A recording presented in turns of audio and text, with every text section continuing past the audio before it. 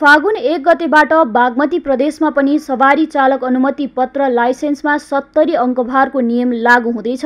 अन्य प्रदेशहरूमा लागू भइसकेको यो नियम बागमती प्रदेशमा भने विभिन्न किचलोका कारण बल्ल लागू हुने भएको हो।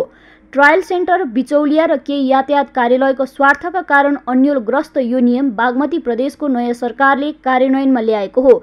भौतिक पूर्वाधार तथा यातायात मन्त्रालय र यातायात व्यवस्था विभागको पटक पटकको निर्देशन र दबावपछि बागमती प्रदेशमा पनि सत्तरी अङ्कभारको नियम लागू हुने भएको हो। चौतर्फी आलोचनाका बीच मङ्गलबार बागमती प्रदेश अन्तर्गतको श्रम रोजगार तथा यातायात मन्त्रालयले आगामी फागुन एक गतेबाट सबै यातायात कार्यालयहरूलाई यो नियम लागू गर्न भनी परिपत्र जारी गरिसकेको छ। सत्तरी अङ्कको नियम ए बी र के वर्गका सवारी साधनका लागि मात्र लागू हुने बागमती प्रदेशको श्रम रोजगार तथा यातायात मन्त्रालयले बताएको छ।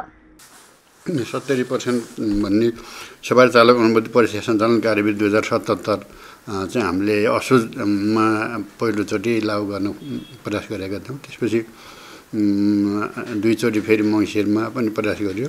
र अहिले अन्तिम पटक चाहिँ मुख्यमन्त्री कार्यालयले एउटा समिति गठन गरेको थियो। अन्य प्रदेशमा यसको लागु भएको अवस्था के छ?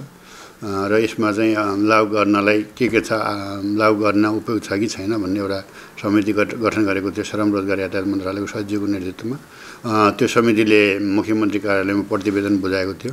र समितिले लागु गर्न उपयुक्त भन्ने प्रतिवेदन दिएपछि मुख्यमन्त्री कार्यालयले हामीलाई दस महिना तेइस गते चाहिँ पत्रचार गरेर फागुन एक गतिदेखि लागु गर्ने भन्ने खालको परिपत्र प्राप्त भएपछि हाम्रो मन्त्रालयले चौबिस गते निर्णय गरेर फागुन एक गतेदेखि बागमती प्रदेशका सम्पूर्ण कार्यालयमा यो सवारी चालक अनुमति पत्र दुई हजार सतहत्तर अनुसार ए बी र हाम्रो के क्याटेगोरीको लागि मात्रै हो यो। अन्य क्याटेगोरीको लागि साबिकै कार्यविधि लागु हुन्छ। तिनवटा क्याटेगोरीको लागि यो कार्यविधि फागुन एक गतिदेखि लागु गर्ने भनेर निर्णय भएर हाम्रा सम्बन्धित यातायात कार्यालयहरूमा परिपत्र भएको छ। फागुन एक गतिदेखि यो लागु हुन्छ।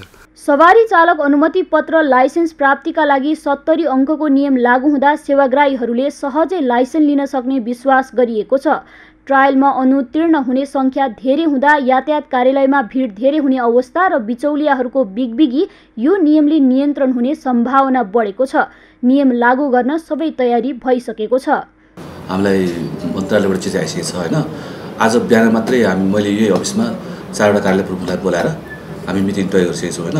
अब हामी फिल्डमा कसरी गर्ने भन्ने कुरा अब कर्मचारीलाई टिच गर्ने कुरा छ नि लर्निङ गर्ने कुरामा चाहिँ हामी लगाइरहेछौँ ट्रायल सम्बन्धी जानकारी भएको मान्छेलाई चाहिँ यो सिस्टमले राम्रै हो। किनभनेदेखि सानोतिनो मिस्टेकमा पनि फेल गर्ने प्रथा भइरहेको छ होइन।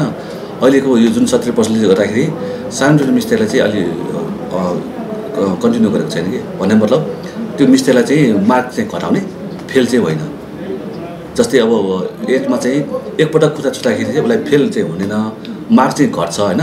त्यो मार्क घट्दै घट्दै जान्छ अनि उकालोमा पनि स्टार्ट बन्नुभयो भने पहिले चाहिँ फेलै गर्थ्यो होइन? अहिले चाहिँ मार्क मात्रै घट्छ अनि दुईचोटि स्टार्ट बन्नुभयो भने मात्रै फेल हो कि यो नियम लागू हुँदा सेवाग्राहीहरू पनि खुसी देखिएका छन् तर यो नियम लागू होला कि नहोला भन्नेमा उनीहरू अझै पनि ढुक्क हुन सकेका छैनन्। योभन्दा अगाडि चाहिँ के थियो भने अलिकति सानो गल्ती भयो भने पनि। अलिक उकालोमा इन्डिकेटर अलिक ढिलो किन बालिस छिटो किन बालिस खुट्टा किन छिटो राखिस् ढिलो राखिस् विभिन्न कारणले गर्दाखेरि चाहिँ फेल गराइदिने एउटा प्रचलन थियो होइन। अब यो सिस्टम आएपछि चाहिँ अब धेरैजना पास हुने मैले सम्भावना देखेको छु। तर पनि मलाई अहिले पनि सन्देह छ। सन्देह के छ भने योभन्दा अगाडि पनि यो कुरा लागु हुने कुरा थियो। तर यो बिचौलियाहरूको यस्तो बिगबिगी छ। मन्त्रीलाई समेत प्रभाव पार्ने सरकारलाई नै प्रभावित पार्नेसम्मको यो यस्तो भनौँ योजनाबद्ध रूपमा उनीहरू लागेका छन् बिचौलियाहरू। र अहिले पनि यो कार्यान्वयन यति सहज हुन्छ भन्ने त म निर्धक्कसँग भन्न सक्छु यो कार्यान्वयन हुँदैन।